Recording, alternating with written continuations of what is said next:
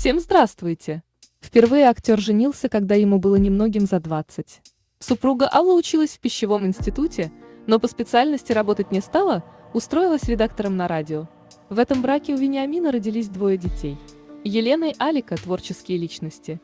Первая – писательница, вторая – актриса и певица. Леонид – сын Лены и старший внук, кандидат филологических наук, преподает в Государственном гуманитарном университете. Сыновья Алики, Артем и Макар, носят фамилию деда. У младшего, по словам матери, нет отчества. Слово «папа старший», понимая, как это может ранить брата, не произносит даже когда встречается с собственным родителем.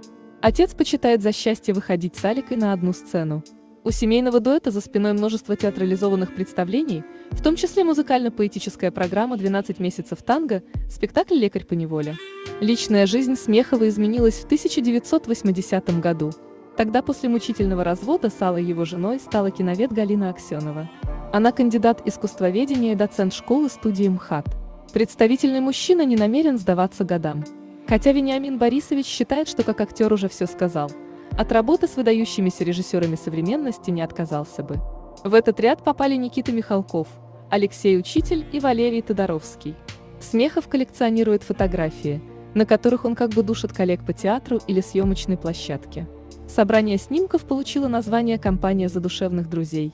Новости о кинематографических проектах с участием Вениамина Борисовича появляются нечасто.